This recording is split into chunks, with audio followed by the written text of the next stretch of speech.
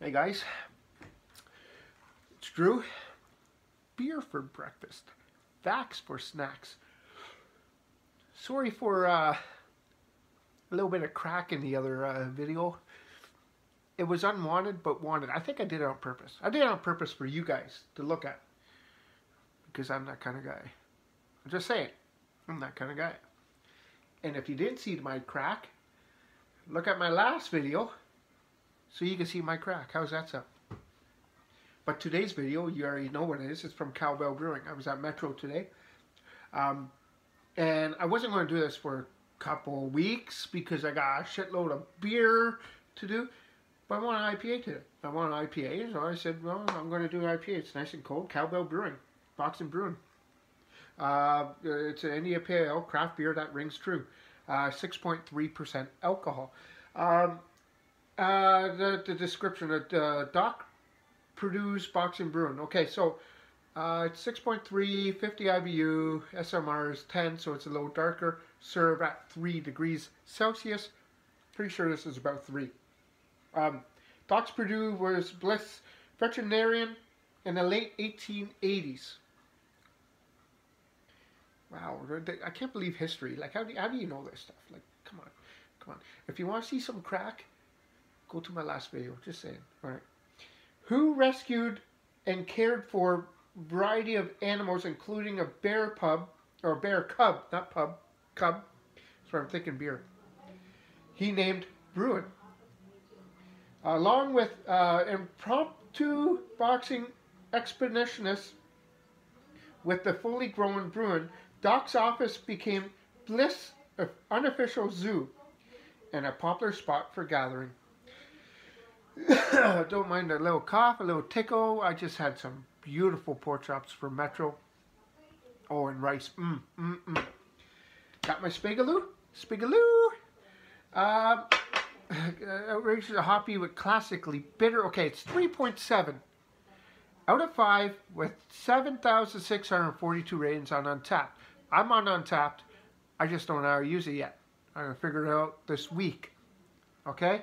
Um, outrageously hoppy and classically bitter, Boxing Bruin is a true IPA. Okay? I okay, so before I read the rest of this. Uh, last year, last winter, my buddy Cody came by with one of these and we split it because I've never had one. And I thought it was pretty good. I think. Or did I not? That's why I'm reviewing it now because I don't remember what it tastes like. I do know I had one. I just don't remember. Five unique hops. Oh, five unique hops. And a touch of Belgium candy syrup. Here we go. Hold on one second.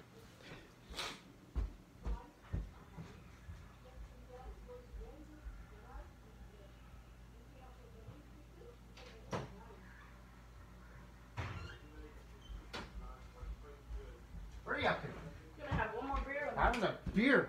Yeah. She's having a beer. Okay. I'm having a beer. Okay, so uh, it says uh, uh, Belgium candy syrup.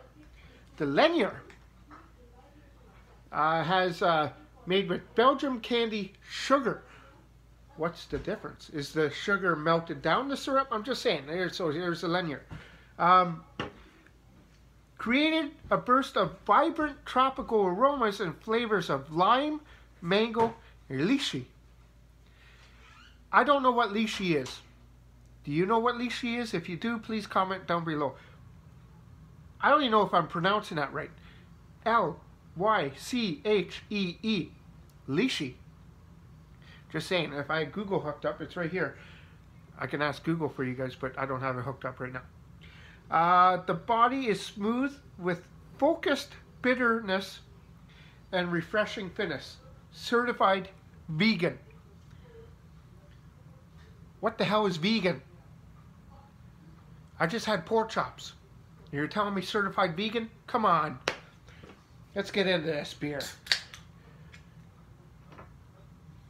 And it smells nice. It smells nice, honestly. It, it really does. I get some mangoes already. All right. I need an IPA today. Um, I've been drinking uh, crap beer. Not craft beer. Crap beer, watching YouTube. And if you're like, well, what is crap beer? Why would you have crap beer in your house? Because I can't afford, and even though you saw all the beers I had in the last video with the crack, okay? I can't afford to drink those all the time. So I drink crap beer in between videos. Does that make sense? It does to me. And if you don't like that, I'm sorry. So I drink crap beer so I can enjoy good beer and good beer for videos for you. Because if not, I can't do this for you. Let's get to aroma. Man, I just, I, the last two videos, I'm over the place. I, I might as well just show you my crack again. Do you want to see my crack again? I'm okay with that. Are you okay with it? All right, so mango, papaya, papaya. I'm not, I don't know what lychee is, or lychee. I don't know what that is, so I, I can't, it smells like lychee. That could be worms or something. I don't know what that is. But I'm getting mango. I am getting papaya, a little bit of pineapple, and a little bit of uh, pine for sure. Um, it looks nice, I'm not going to lie. It looks really good. I don't know if I enjoyed it. This was a year and a half ago.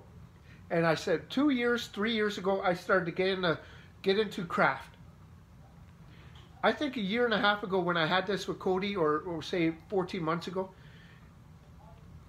it kind of turned me off. I think, I, am thinking if, I, I think it did.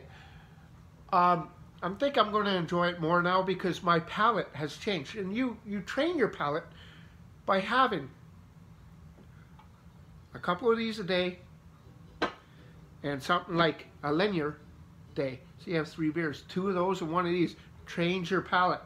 Let's get into this. Uh, boxing Bruin. Doc Purdue's India Pale Ale. Let's get into it. I'm actually excited for this.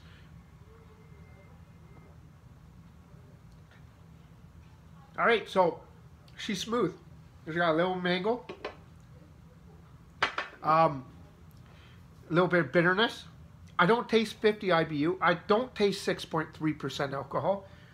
That's actually not bad at all.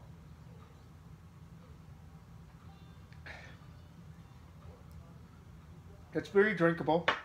Um, when was this brewed on?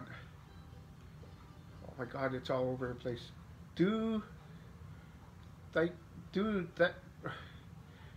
I don't know. I don't know what it says because I think they're. Um, hold on, I'll show you. Maybe you can read it out. Let's get the rest of this in here. Maybe you could tell me what this is because I think their printer.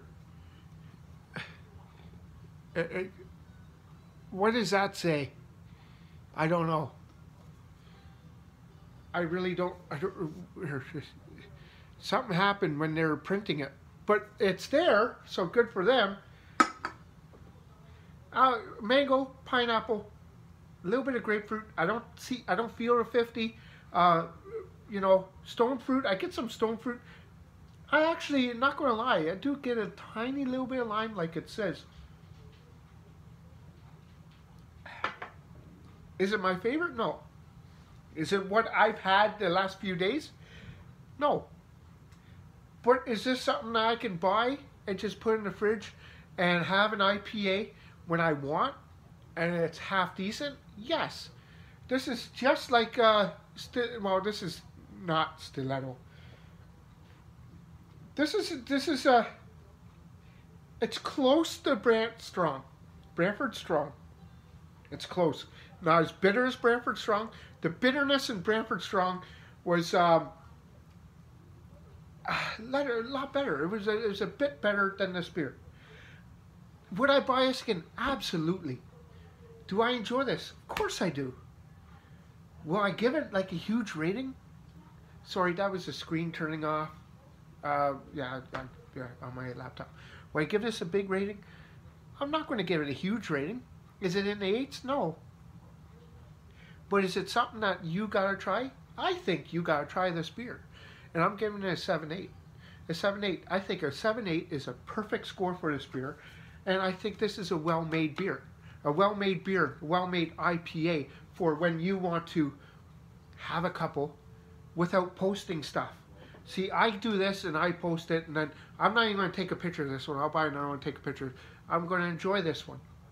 This is not one where you go, oh, look what I got, Boxing Bruin. This is one where I buy two of them, they're in the fridge, and I get to enjoy it. That's it. Uh, so 7 8. 7 8, I think, is the perfect, perfect score. Okay, guys?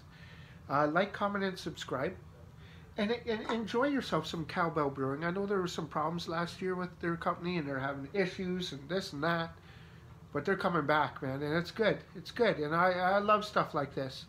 Like, comment, and subscribe. Super Bowl tomorrow, and I'll be back tomorrow with two other beers. Just two other beers tomorrow because I want to be able to sleep in tomorrow, have some bacon and eggs, enjoy my morning. I'll come back in the afternoon with two beers. Is that, is that too much to ask? because at 6.30, I don't want to be drunk. Yeah, I don't want to be drunk at 6.30 doing that, watching Super Bowl. So, anyways, like, comment, and subscribe. I'll be back tomorrow. Have an excellent night, guys. I love you guys dearly. Cheers.